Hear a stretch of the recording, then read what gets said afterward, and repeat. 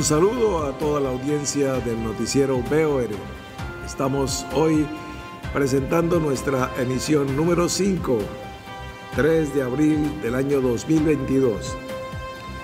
Nuestro pensamiento, nuestra frase de esta semana.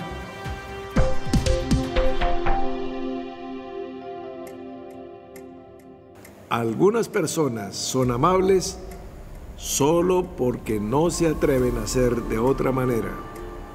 William Faulkner.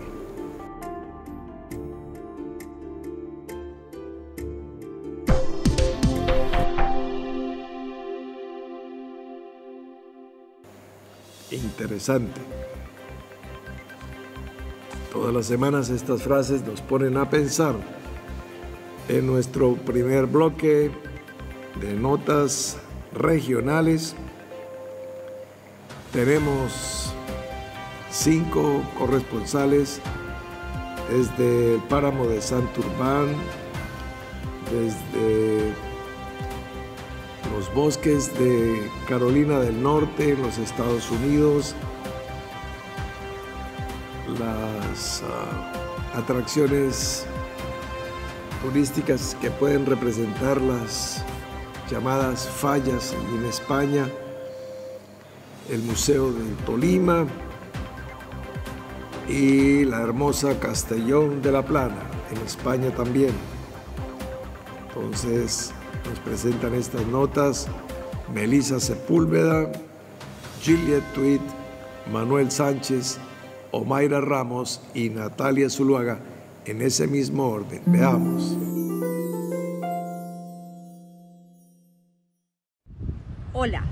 Entre Norte de Santander y Santander existe una maravillosa geografía llamada el Páramo de Santurbán.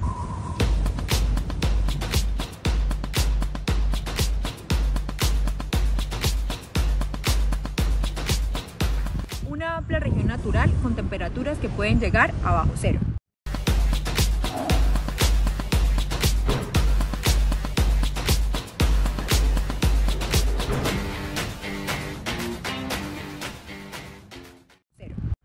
Por la belleza de su fauna, es un punto clave que abastece 48 municipios de Santander con agua del Santurbán. Recientemente ha despertado voces de ambientalistas exigiendo su protección. Los voy a dejar con unas hermosas imágenes. Les habló Melisa Sepúlveda, corresponsal BOR.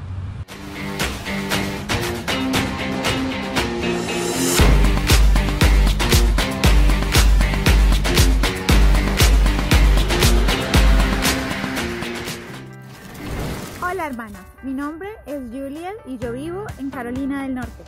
Hoy quiero contarles qué hacemos en Carolina del Norte cuando llega la primavera. Durante la primavera en Carolina del Norte, nosotros contamos con largos y extensos bosques que están protegidos por el gobierno. En este momento nos encontramos en la primera semana oficial de la primavera, por lo que podemos encontrar que los árboles todavía no eh, florecen o no tienen sus hojas verdes.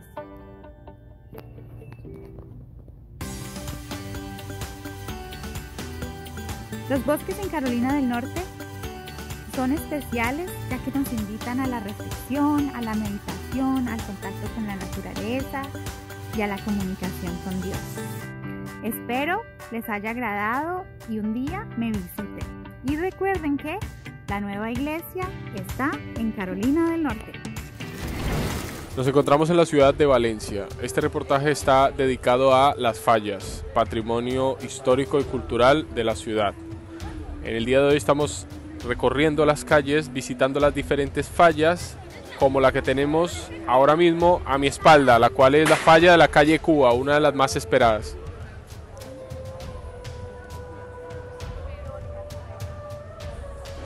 Y ahora tenemos esta falla de la calle Cuba con Literato Azorín, en la cual están dos barcos piratas enfrentándose.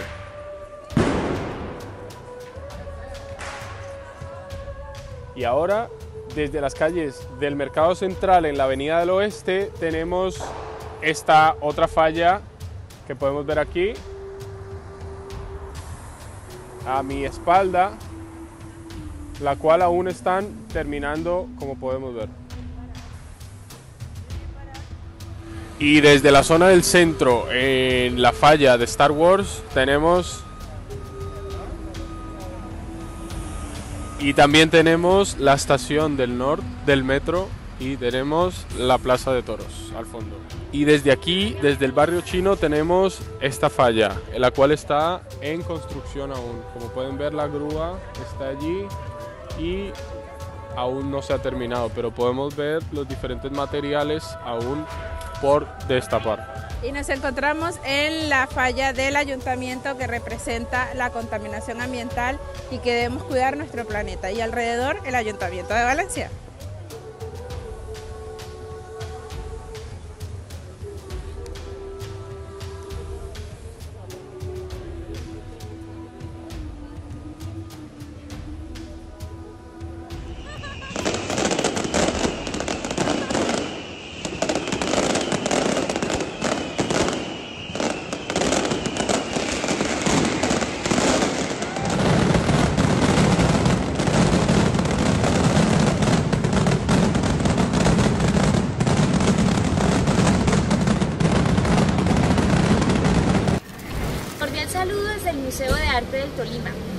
La ciudad de Ibagué, capital musical de Colombia.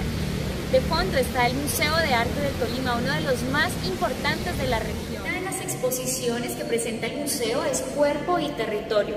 Aquí 11 artistas tolimenses y 10 de otras regiones del país presentan sus visiones de cuerpo como territorio, como identidad y ecofeminismo. En tiempos de elecciones, el colectivo cubano Los Carpinteros, que se extinguió en el año 2018, nos presenta esta obra que se titula Polio. Es un atril de cartón, una crítica que los artistas hacen a la clase política, que utiliza estos objetos para sostener sus discursos, que al final terminan siendo efímeros, desechables. La exposición Federico Rodríguez, sus años mexicanos, nos presenta dibujos, pinturas de un artista zapaquirense que nace en el año 1871 y muere en 1941 en Colombia. Fue muy exitoso en México, aquí en Colombia poco reconocimiento. Y esta ha sido la nota artística y cultural. Informó para el noticiero BOR Omaira Ramos.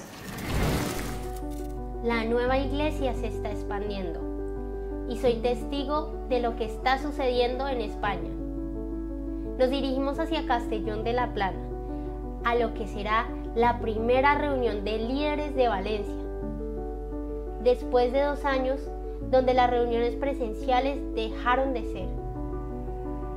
Y es que ya empezaba a olvidar lo bello que era reunirme con mis hermanos, porque cuando nos unimos y estamos en armonía, en sintonía, entonces es cuando nace la nueva vida. La oración poderosa de nuestra hermana Arelis Vera, que como con gemidos de parto por un nuevo ser que llega, nos daba la bienvenida a un inicio, luego de ocho años cuando en Castellón de la Plana se dejaron de hacer reuniones. Así en el cielo como en la tierra. Un nuevo ser estaba naciendo en el otro lado del hemisferio, en Colombia. Matías Buitrago, hijo de David Buitrago y María Fernanda, como señal de que todo lo que atemos en la tierra será atado en los cielos, y el Señor nos marca un camino. Hoy desde Castellón de la Plana y mañana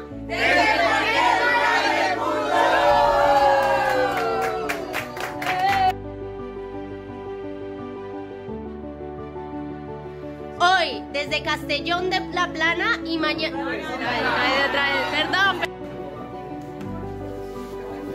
Mis derechos de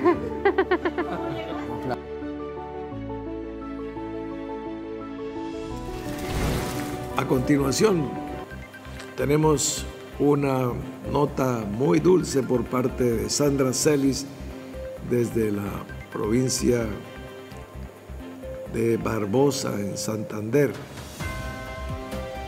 Entonces, escuchemos qué nos dice.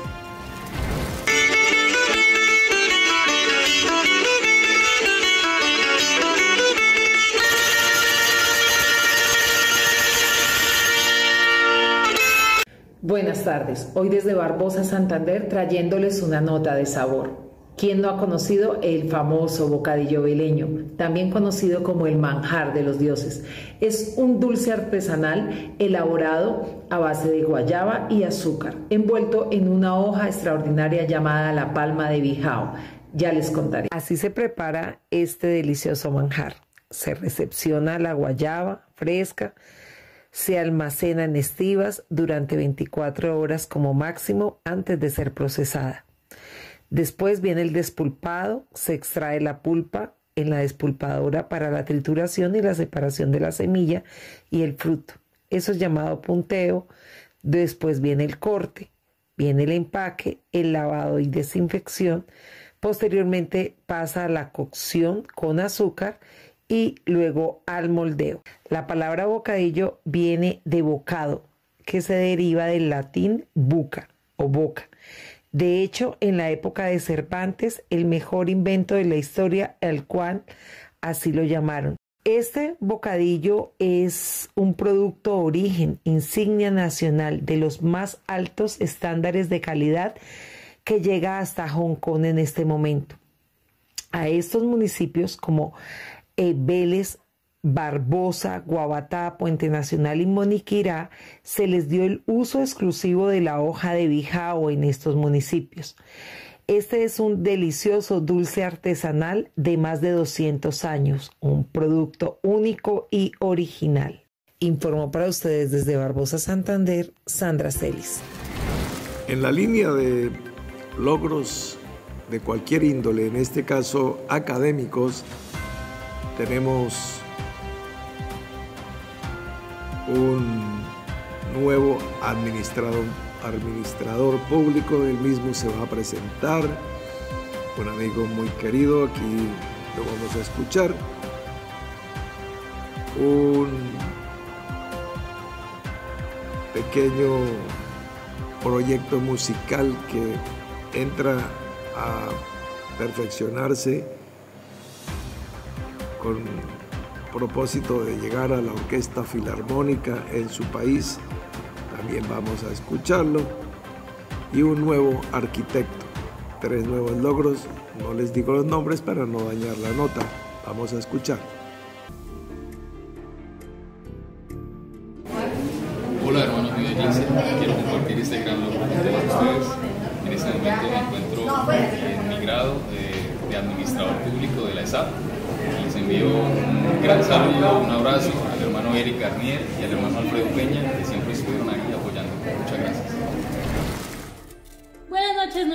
Hoy les saludamos junto con Andrés Felipe Perdomo, quien ha sido admitido en la Escuela de Formación Musical Victoriano López, la escuela número uno de formación en San Pedro Sula, Honduras. Él nos contará en esta noche su testimonio.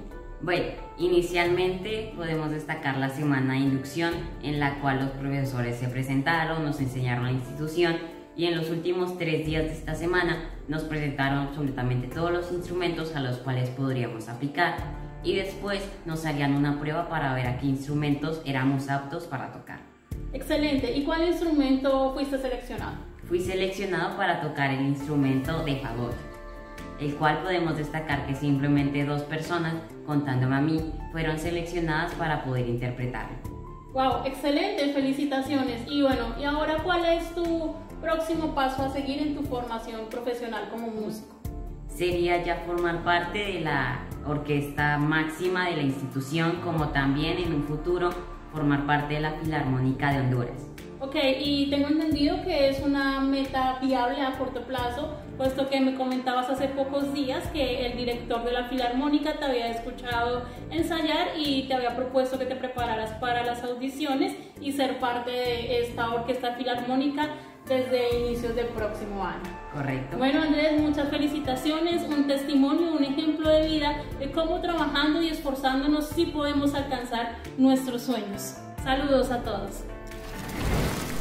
Hola, bueno, otra vez por aquí, eh, solamente para comentarles que pues ya eh, tenemos un nuevo arquitecto, entonces pues gracias a, al hermano Alfredo, gracias a esta madre que me ha cubierto, a esta madre iglesia, a mis padres que han hecho posible que este sueño sea una realidad y bueno pues solamente es un peldaño, ¿no? Falta eh, una escalera bastante grande por recorrer, pero pues ya tenemos un logro más para anexar y pues lo que falta por venir. Un abrazo para todos. Bueno, para el cierre tenemos el bloque mujer. Dos notas particularmente interesantes. En primer lugar, desde Cartagena vamos a escuchar a la doctora Carmen Villarreal.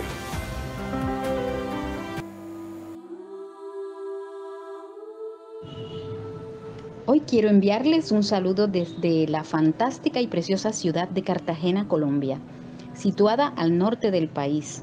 Una histórica ciudad amurallada con plazas pintorescas y coloridos edificios coloniales de bellas flores y clima caliente. Muy caliente a veces. En este lugar mágico del Caribe, la bandera de la nueva iglesia se despliega con valentía en el corazón de cientos de personas que cada día crecen en torno a la preciosa palabra que día a día llega como lluvia fresca en medio de un pueblo con grandes sueños y vivencias. Pero hoy no quiero resaltar la parte histórica, la parte turística, colonial y emblemática de esta preciosa ciudad que entre otras cosas es extraordinaria. Hoy quiero resaltar la parte más importante que tiene Cartagena, sus mujeres. Mujeres que embellecen, que crean dulzuras, que organizan finanzas, que crean moda y glamour, que representan la cultura, mujeres que enseñan y hacen florecer sueños en el corazón de muchos, Mujeres que cuidan, mujeres que sanan, que alaban, que bendicen, que protegen a su familia, que llevan una labor social derribando esquemas y que se levantan con firmeza defendiendo a muchos. Que crean arte, pero sobre todas las cosas, mujeres que tienen el poder de amar hasta la locura. Interesante, mi doctora, como siempre, muchas gracias y no podía usted dejar de pegarme ese punzón con la última imagen de, su video. Muchas gracias. Y para cerrar, tenemos otra amiga muy querida,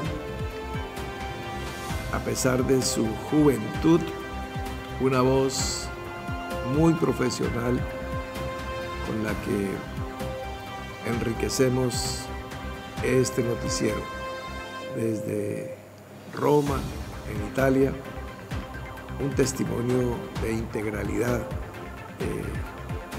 de, juventud, de ánimo, de esperanza, de vida para todos nosotros. Entonces, Julianita Arciniegas, escuchémosla.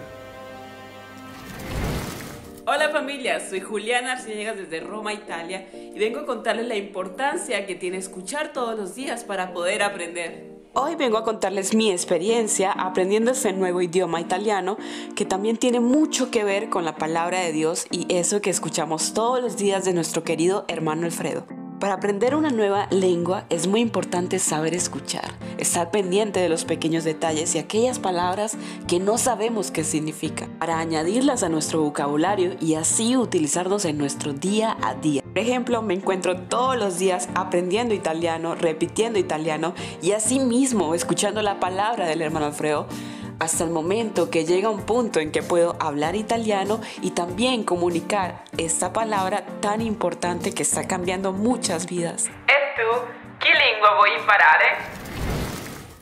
En el informe especial de hoy quiero presentarles a los cazadores de mitos en Europa.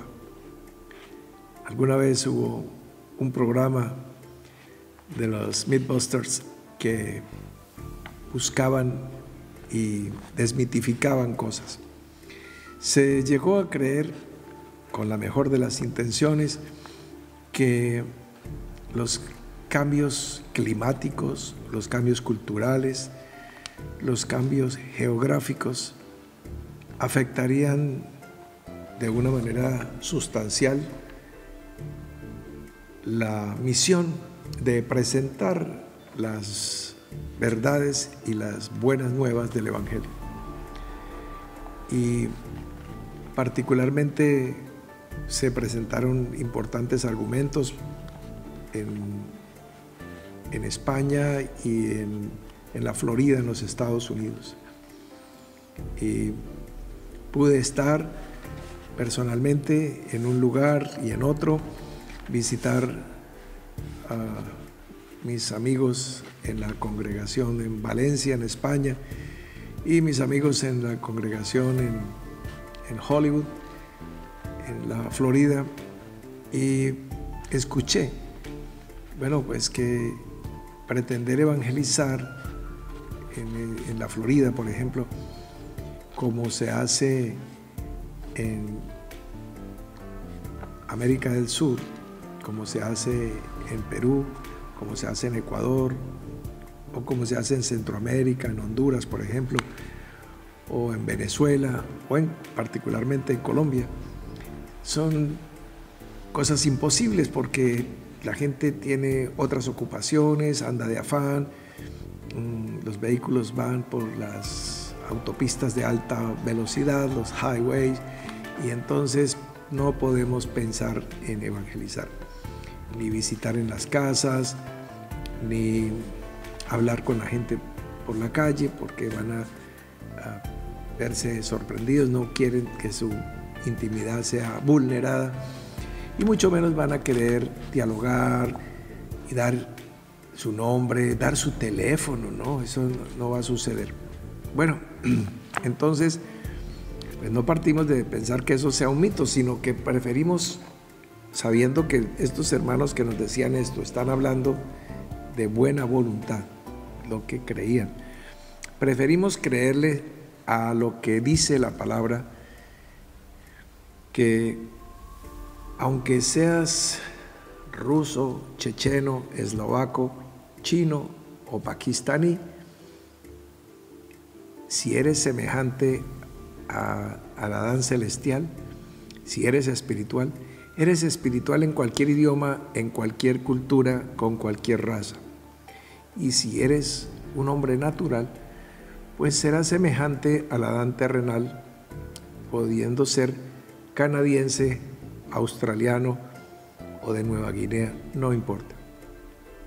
Creímos eso y se hizo este a taller,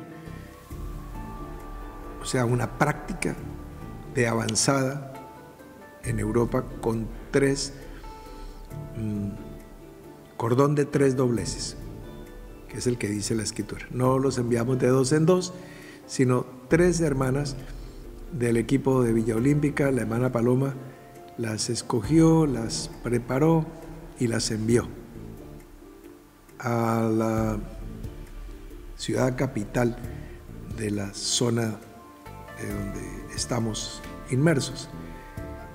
Y estamos en la provincia de Cataluña y la gran ciudad es Barcelona.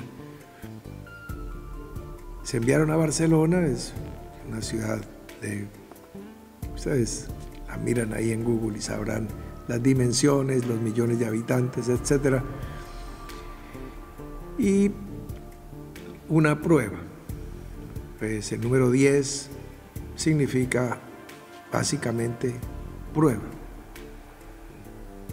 Los 10 dedos que tenemos aquí como prueba de eso, los 10 mandamientos para probar a los hombres allí en la, en la tribulación.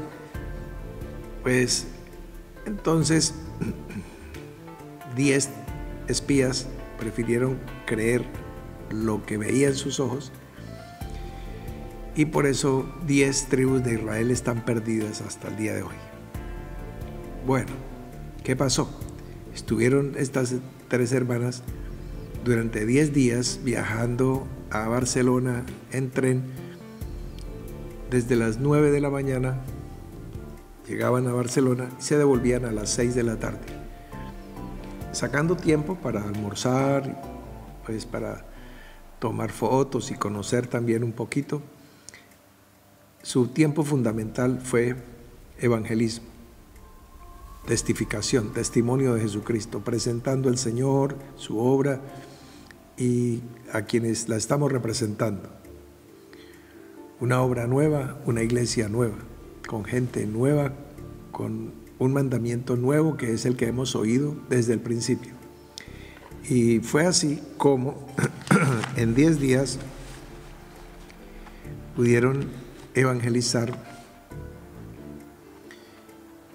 en la calle a 100 personas, de las cuales tenemos mm, la base de datos, sus nombres, sus teléfonos, sus nacionalidades, su residencia.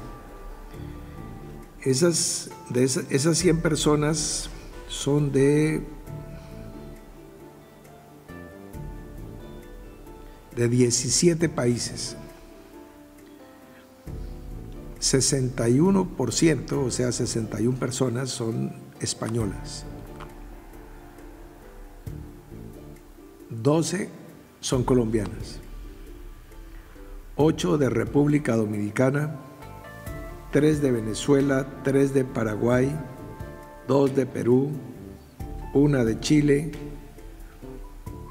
1 de Bolivia, 1 de Argentina. Adicionalmente a eso,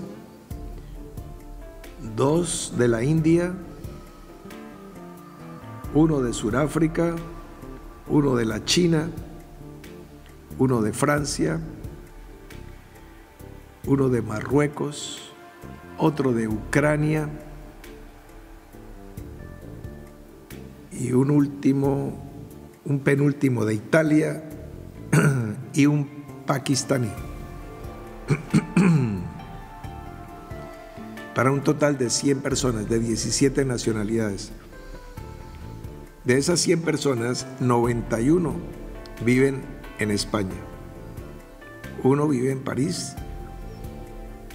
dos viven en Ámsterdam, en la capital de Holanda, y seis viven en República Dominicana. Entonces ya se puede empezar a trabajar, como nos lo presentaba Marcelita Tweed la semana pasada, con muchos contactos en esta cantidad de países nuevos.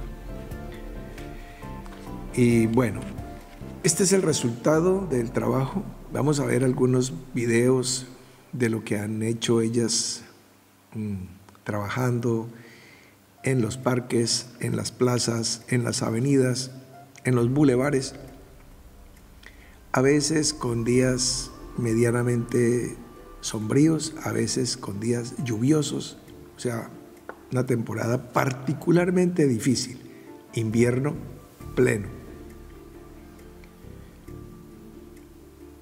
dentro de poco tiempo, si este trabajo va a tener continuidad, por supuesto. Este informe que les estoy presentando es el resultado de los 10 días hasta el día 19 de marzo. El 20 no se hizo evangelismo porque es eh, día de, de actividades domésticas. La semana que vino desde el 21 hasta, hasta el viernes pasado, 25, mm, la semana del 21 al 25, esos datos no los tengo aquí. Les estoy presentando los de las dos semanas anteriores, semanas de cinco días de trabajo. Muy bien, entonces para esta semana pues podrán estar ya otros 20, 30, 40, 50 personas de otros países diferentes, etc. En su tiempo lo presentaremos. Estoy mostrando el resultado de 10 días, que es la prueba de que se podía, se puede trabajar y hay unos proyectos más ambiciosos, mm, se van a organizar como se trabaja en Villa Olímpica, coes masivos, cantar en la calle, invitar a la oración en la calle. La gente se puede arrodillar en la calle. Si se pueden arrodillar en América, ¿por qué si en el nombre de Jesús se doblará toda rodilla? No dice que solamente las rodillas del tercer mundo.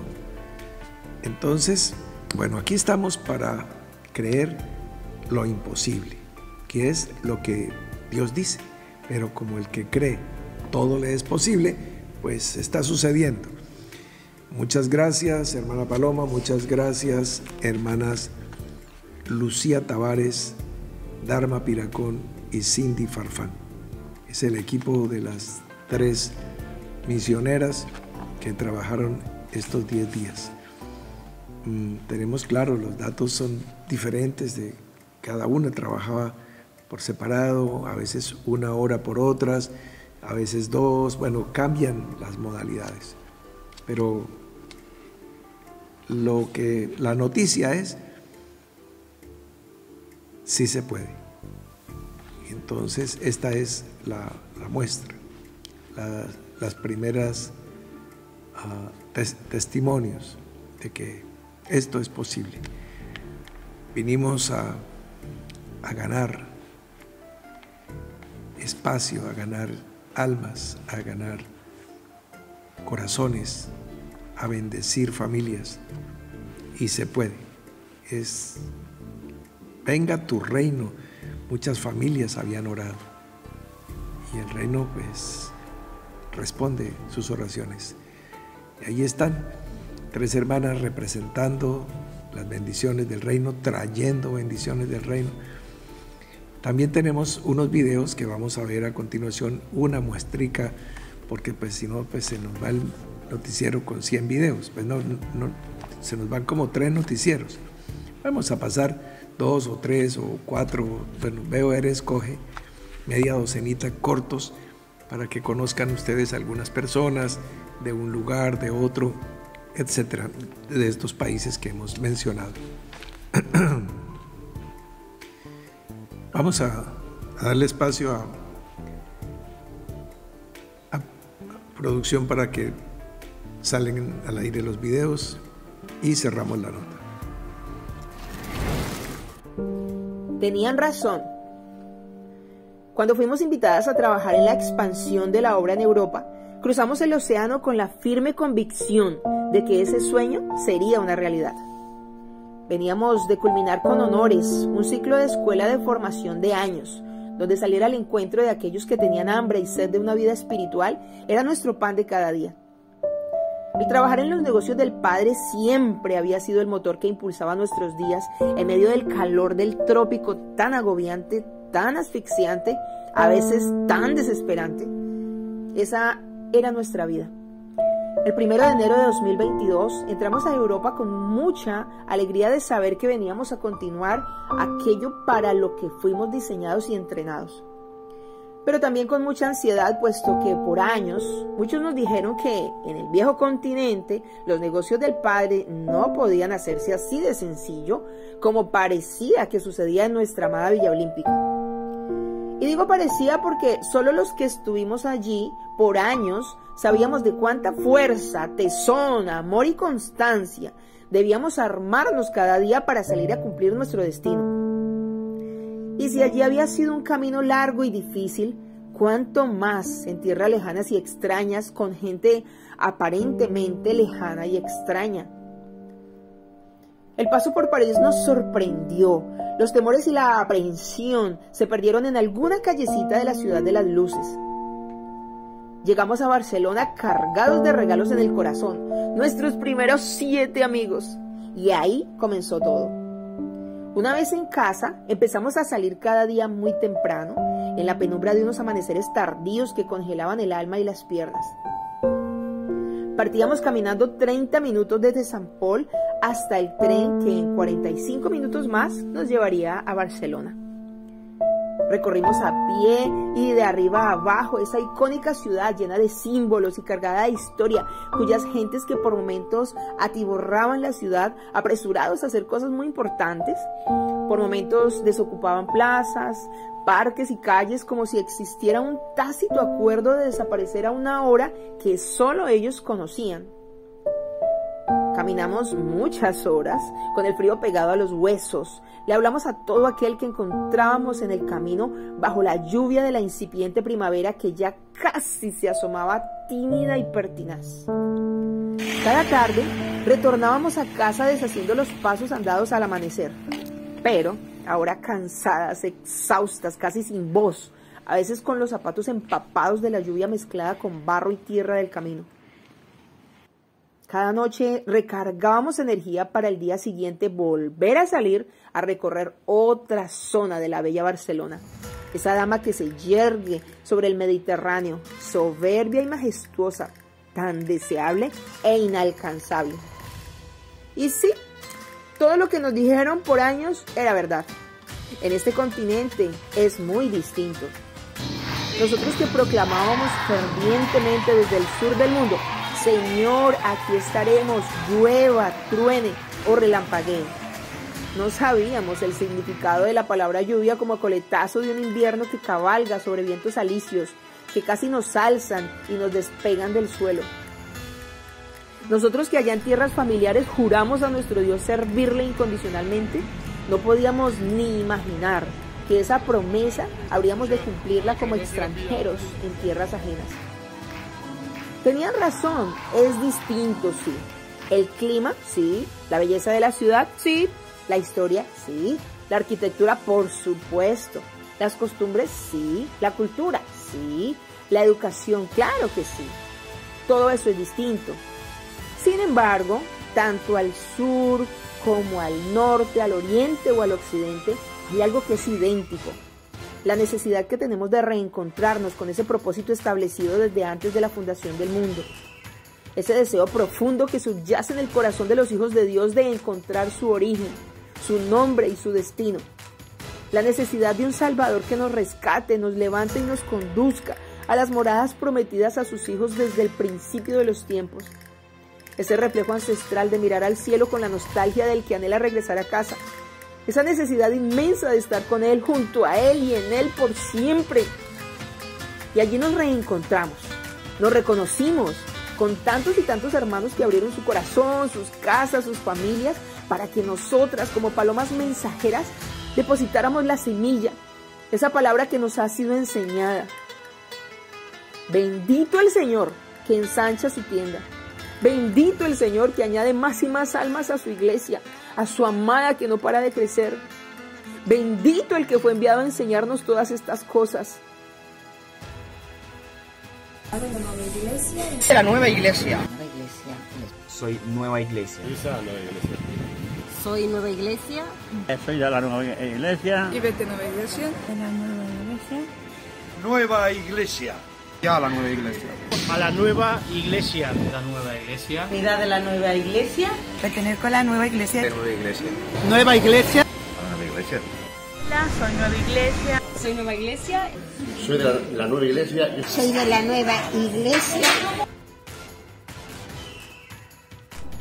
Hola, sóc l'Eduard Romo, sóc d'aquí de Catalunya, vic aquí a Barcelona i us animo que s'apunteu a Canal de Nova Església que la vostra participació serà molt rellevant de cara a un futur més adient per tots nosaltres. eh, m'agrada que esteu aquí a Catalunya, a la Costa Brava, és una zona molt bonica. Jo us animo que visiteu Calella de Palafrugell, que està una mica més a dalt, i sobretot Cadaqués.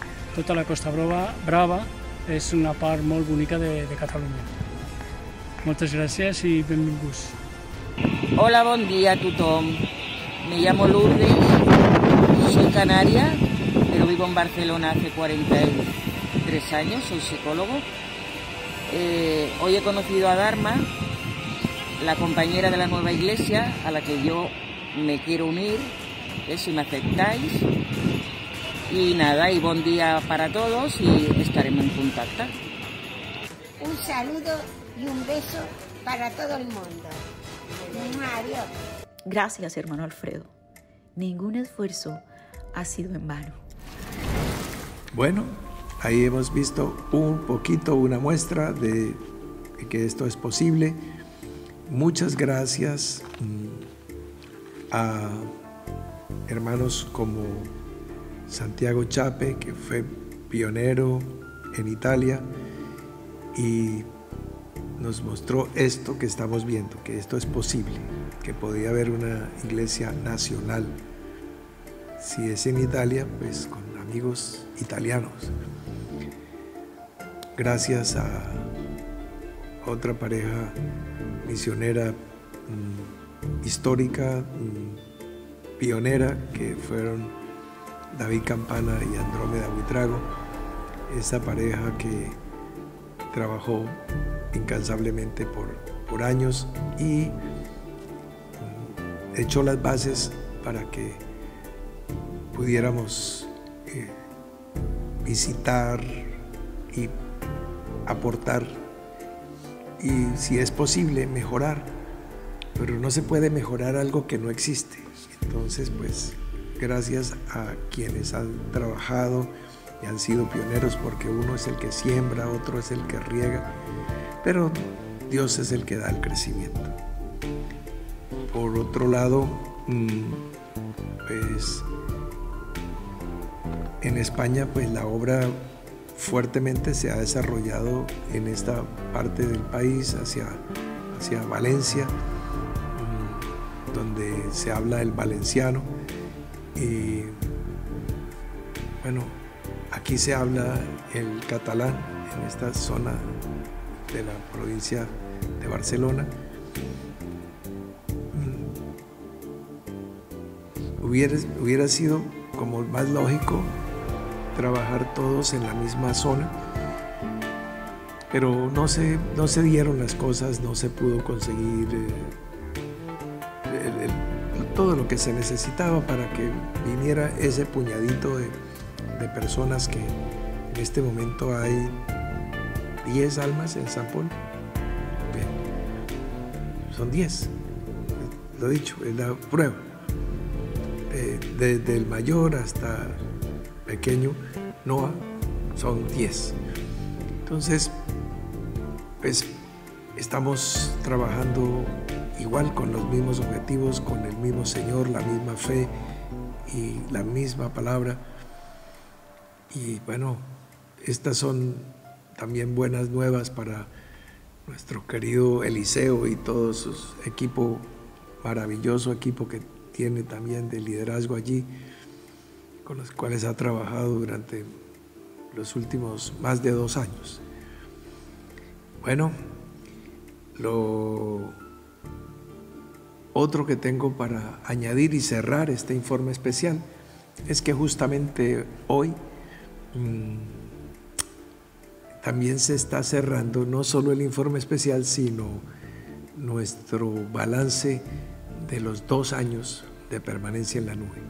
Entonces, todo esto que estamos mostrando, evidenciando, logrando con el trabajo de muchos, esforzados y, el aporte de tantos, es el cierre de un balance que satisfactoriamente podemos darle a todos los amigos en todas las naciones del mundo un parte de victoria, crecimiento, desarrollo, bendición en todas las áreas. Vamos como lo anunciamos, como lo creímos, como nos comprometimos de victoria en victoria y de gloria en gloria. Esta es nuestra nota editorial, nuestro informe especial. Bueno amigos, esto ha sido todo por hoy. Este noticiero ha sido hecho pensando en brindarte lo mejor de cada región, lo mejor de cada persona, de todos los que tenemos que ver, de todos los que nos introducimos en este trabajo y todos los que intervienen. Muchas gracias por estar ahí, muchas gracias por tu audiencia, por tu compañerismo y pues en correspondencia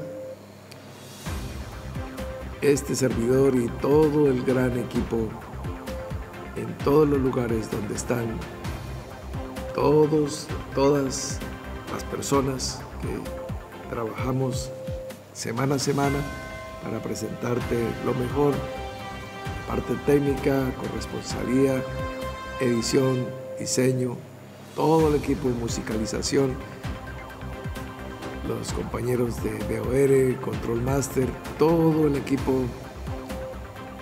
pues aquí estaremos subiendo peldaño en peldaño, mejorando de semana en semana. Nos vemos la próxima semana.